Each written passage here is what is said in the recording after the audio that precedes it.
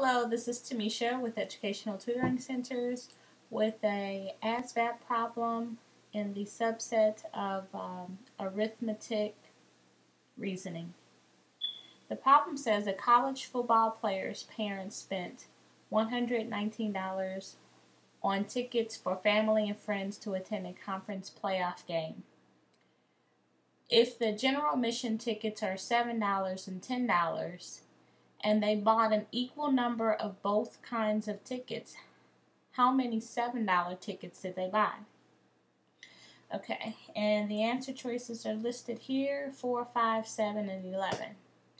One approach you could take is just simply to uh, take each one of these answers and test them to see if they would work, such as taking 7 times 4 and uh, 10 times 4 because they said there were equal amount of tickets for um, of, of both types. There were equal number.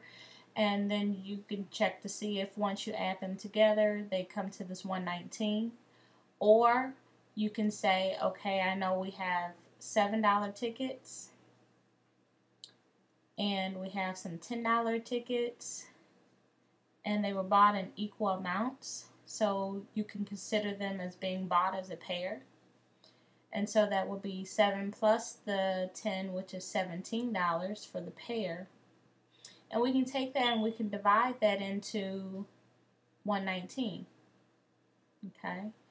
And uh, and then at this point, um, you know the answer choices are only what what are there. So if you try to do 4 times 17, you know that's not going to be enough. If you did 5 times 17, that would be about 80 something.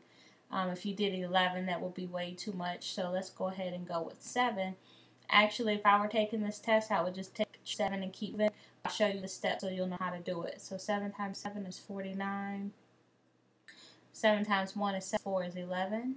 And subtract it. Remainder is 0. We come up with 7 when we do the division for the number of each of the tickets you'll want to test this. So 7 times the $7 tickets equals $49. And then we have uh, 7 times the $10 tickets, which is $70. And then we add that together and we find out that it comes to the 119. So we know our answer choice is C. Okay? Thank you for watching this video. If you like this video, please click on like. If you would like to see the videos that we have updated show up when you log in, please click on subscribe. If you're interested in our services, please contact, contact us at the telephone number listed at the top left hand corner. Uh, we could talk to you about our online services and our in-person tutoring that is offered in a various uh, number of states. You can also find us on Facebook, like us on Facebook. You can register for services there online by choosing Request Our Services. Thank you for watching.